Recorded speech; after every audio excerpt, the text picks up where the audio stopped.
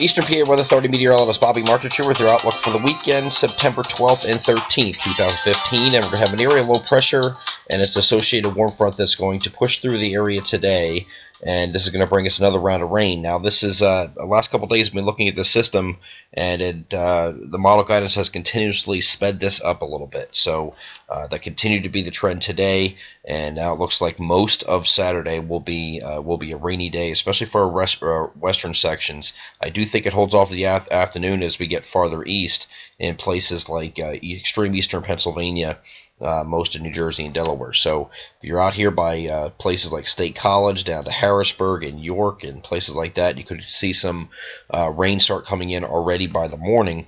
Uh, would be probably favor late morning, but uh, morning nonetheless. So for the game up here at, for the Penn State home game, obviously, um, you know, it'll be a wet a wet ride there for for that game here. But uh, you know, anywhere east of there, we should hold off until a little bit uh, a little bit after noon. It looks like uh, I can't say you can't have an isolated shower early on the morning here, but the concentration of this rainfall will be later. As we go into uh, go into the afternoon hours, here you can see that rain moving east, and uh, the area low pressure is actually going to be sitting right about here over central PA, and that's going to lift on up to the north, up to a position right about here for Sunday. So it's not going to move much. Uh, but it will allow for this uh, rainfall to occur. This is not going to be a repeat of Thursdays. We had some extremely heavy rainfall total, extreme rainfall totals. Um, you know, there were some some three, four, five inch rain amounts. We're not talking about anything like that. I think the upside here is for central PA counties to, uh, uh, or the western counties of our coverage area here in central PA should have an upside of about two inches, maybe the same in about in northeastern PA. Elsewhere, I think your upside is going to be one and a half inches, and that's going to be only predicated if you get these thunderstorms. That's going to be the difference between the other day is when we didn't really have the thunderstorm component. Now we will uh, today. Now your thunderstorm areas are not going to be everywhere. I think it's just going to be, if I had to draw a line, it'd be somewhere like this. These are going to be your areas that could get into the thunderstorm action. Anywhere up here will not.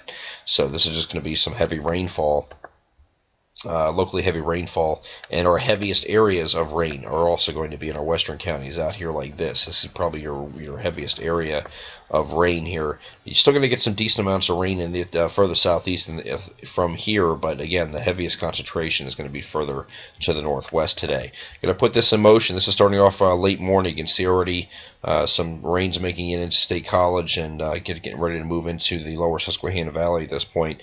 Next frame, it's inundating pretty much everywhere here, and you can except for our far eastern areas here. Now, this is now looking at early afternoon on Saturday.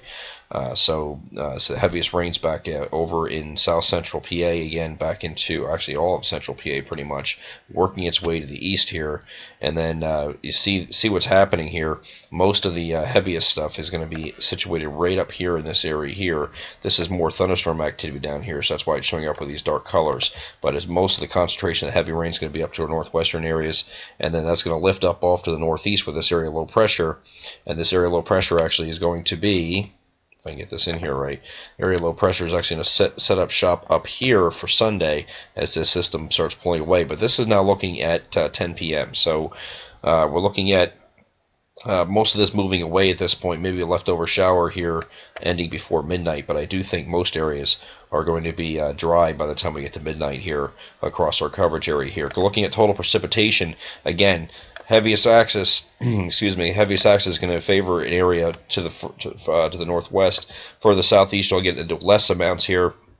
But I wouldn't trust these all, as automatic amounts here with these uh, less than a half inch amounts here. You could get higher than that if you get some thunderstorms roll through. They could dump some very heavy rainfall, so be aware of that.